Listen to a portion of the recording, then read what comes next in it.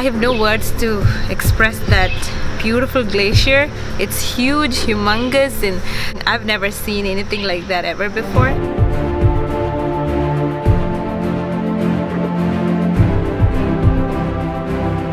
It's all the excitement, it's all the fear that you have inside to, you know, to start the climb. It was an experience that you can never uh, forget in your life.